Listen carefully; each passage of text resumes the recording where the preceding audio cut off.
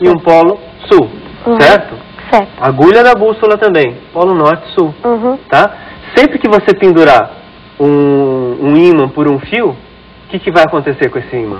Vai se posicionar pro lado norte e sul. Isso, ele vai se alinhar, né? Vai se posicionar na direção norte-sul. Uhum. E a agulha da bússola? Acontece o mesmo, também é um imã. Pois é, então, aí que está a conclusão.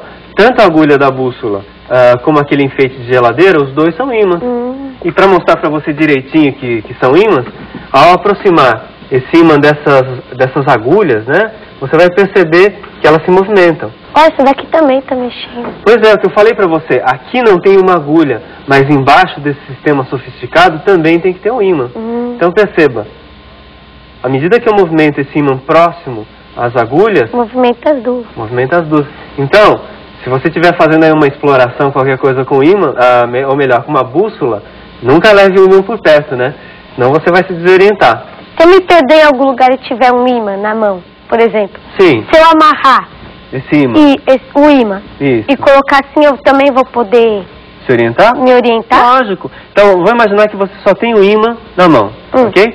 Você sabe qual é o polo norte e qual é o polo sul do ímã. Tem que saber isso, pelo menos. Uhum. Você se perdeu, tá? Hum. Então, o que você faz? Pega o cadastro de sapato, por exemplo, né, do tênis, Hum. e pendura, Uhum. tá? Então, o que vai acontecer? Ele vai ficar alinhado na direção norte-sul, com uma Ah. bússola, e aí você não se perde, Hum. tá? Sabe, sabe a direção de casa, né? É a mesma coisa que acontece com a agulha, né? Pois é, a mesma coisa. Então, não precisa ser um instrumento muito sofisticado. Hum. Basta você ter um ímã, um polo norte e um sul e pendurar esse, esse ímã por um fio. Ah. Legal, né? Oh. Eu tenho aqui um VT, uma gravação de ímãs e eletroímãs. Quer Uhum. ver?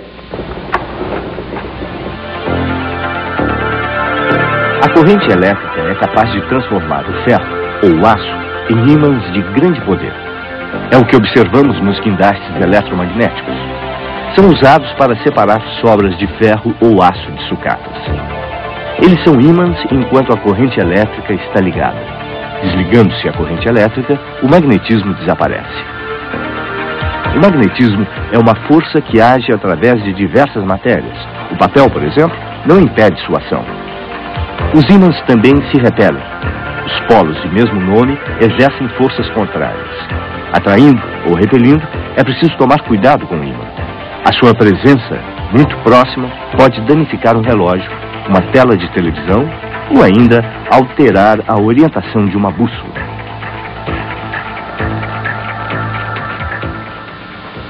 Então, Jaime, ficou bem claro, né? Deu para você Ah, perceber ficou. que a agulha de uma bússola, na realidade, é um ímã. Uhum. Você não vai conseguir atrair, por exemplo, um pedaço de madeira, como esse daqui, com ímã, né? Não. Olha, não ocorre atração. Uhum. Agora, à medida que você aproxima dois ímãs, Hum. vai sempre ocorrer ou atração ou repulsão. Então, olha o que eu fiz. Eu pintei o ímã um lado de vermelho e outro lado De azul. de azul, tá? Então, um é o polo norte, outro é o polo sul. Hum. Então, repara o que vai acontecer. Se eu colocar polo norte próximo ao polo norte de outro ímã que está na minha mão, ele é repelido, ele é empurrado. Agora, ao passo que se eu deixar o lado vermelho aqui perto do azul, ou seja, o polo norte com o sul, olha o que vai acontecer. Ele é atraído, tá? Olha, se você colocar nessa vareta você vai entender melhor. Então aqui tem um pedaço vermelho, Hum. percebe? É um dos polos. Se eu aproximar um outro pedaço vermelho, vamos supor que aqui seja o polo norte. Hum. Se eu aproximar outro polo norte, o que, que vai acontecer? Não vão, vai se repelir. Vai se repelir, né? Olha, tá vendo a mágica, ó? Hum. Mantém um, um ímã separado do outro. Percebe? É. Flutuando, né? Uhum. Ocorre repulsão. Agora, se eu virar para outro lado, Vai, ocorrer vai se juntar, isso. vai Peraí. se atrair. Tá lá. Hum. Então, você viu? É, polo norte com o sul, ocorre Vão se atrair.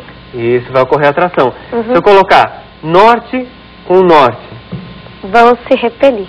isso, ou sul com sul, Vão se repelir também. então, então é fácil, né? É. Agora, é isso aí. Toda vez que você aproximar dois ímãs, sempre vai acontecer uma interação, Hum. ou de atração ou repulsão. Professor, sabe o que isso faz me lembrar? As pilhas, elas também possuem dois polos. É, elas têm polos. Só que lá na pilha é polo negativo e polo positivo. Hum. E, mas tem uma relação com, com o magnetismo também. Vem cá que eu vou te mostrar.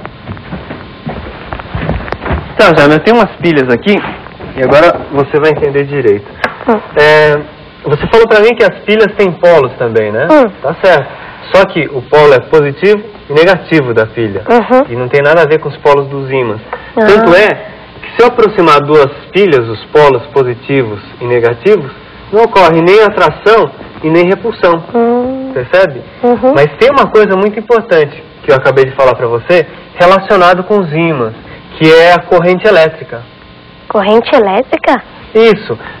Toda vez que passar uma corrente elétrica por um fio, vai aparecer nesse fio um negócio chamado campo magnético.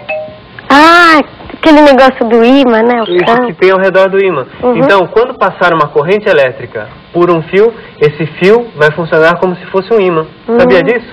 Não. Pois é. Olha, vou te ensinar a fazer um, um motorzinho elétrico agora. O que eu tenho aqui é um fio de cobre. Você sabe o que é um fio de cobre? Sei. Tá, aquele que você usa nas instalações elétricas. É. né? E uma bobina. Já ouviu falar em bobina? Não, só aquelas de, de máquina de calcular. Então, mas alguma máquina de calcular? Não é bobina? Ah, do papel? É, Oh, papel. isso. Então, vamos imaginar o seguinte agora, que eu pego esse fio, é bem fácil, olha, e começo a enrolar esse fio, tá? Tô enrolando. No mesmo lugar? É, tô enrolando. Meus dedos aqui, Hum. tá? Deixar esse, esse conjunto, esse conjunto bem redondinho. Uhum. Tá vendo? É bem fácil, porque o metal é, é fácil de ser moldado, o cobre é bem fácil de ser moldado, né? Uhum. Depois disso, aí você pega um dos lados do fio e começa a enrolar para que essa bobina não se solte. Uhum. E finalmente você vai chegar nisso daqui. Olha. Tá vendo? Isso é bobina? Isso é uma bobina um pouco maior do que aquela que eu fiz. Um Uhum. fio de cobre. Uhum. Tá bom? Bom, ah, agora eu vou mostrar para você como é que a corrente elétrica pode funcionar ou pode criar um campo magnético. Então veja só, aqui eu tenho a bobina, deixa eu tirar esse alto-falante aqui. Eu tenho uma bobina e aqui é um conjunto de pilhas, tá? Um monte de pilhas ligadas. Então, um é polo negativo, outro polo positivo, tá? Uhum. Eu criei uma bobina que nada mais é do que um fio enrolado, né? Hum. Então, eu vou ligar esse conjunto. Quando eu ligo o conjunto, eu ligo as pilhas nessa bobina, por essa bobina deve passar uma corrente elétrica, Ah. né? Aquela que você falou que dá choque, né? É. Só que além de dar choque, ela vai criar um campo magnético também. Olha, repara que quando eu aproximo o ímã, Olha. ele é atraído. Hum. É, é curioso pelo seguinte, deixa eu desligar a corrente elétrica, deixa eu tirar a corrente elétrica. Não está passando nenhuma corrente elétrica, porque eu desliguei Uhum. das pilhas, né? Uhum. Quando eu aproximo o ímã desse pedaço de metal, Não é atraído. não acontece nem atração nem repulsão, Uhum. percebe? Mas a hora que eu ligo, A corrente elétrica está passando, isso, então quando você se aproximar. isso, vai Vai ocorrer atração ou repulsão. Uhum. Se eu virar para o outro lado, vai ocorrer repulsão. Então, quando passa a corrente elétrica, ao redor do fio, acaba criando um campo magnético. Hum. Ele acaba funcionando como um ímã. Ah. Agora, tem um lugar que você vê assim no dia a dia que a corrente passando cria até um movimento, que é o É? motor elétrico. Motor elétrico. Você sabe como é que funciona? Não? Ah, não. Você sabe que tem que ligar na tomada ou na pilha, né? É, ou na bateria. Ou na bateria. Mas Aham. como funciona um de verdade você não sabe, Não. né? Então eu vou ensinar como é que monta um. Dá pra fazer em casa também. Bom, a bobina você entendeu como é que se monta, Aham. tá? Agora veja o que eu tenho aqui. Um porta-pilhas com quatro pilhas. Na Hum. realidade você poderia ter feito com uma só, tá? Uhum. Mas é que como eu tinha esse porta-pilhas já, eu resolvi reaproveitá-lo. Com quatro pilhas a corrente é maior? É mais intensa, né? Hum. Mas uma pilha já dá, ou uma ou duas, tá? Uhum. Agora, veja bem, aqui a saidinha é o polo positivo. Então é um fio ligado no polo positivo da pilha e outro fio ligado no polo negativo. Ah. Tá ok? Uhum. Muito bem. Você vai pegar aquela bobina que você já aprendeu como é que se faz, É. mas aí tem um segredo. O segredo é o seguinte: você vai pegar uma lixa, tá? Uma lixa, pode ser a lixa de unha da sua mãe, Isso. tá bom? É fácil encontrar, né? É. E você vai passar essa lixa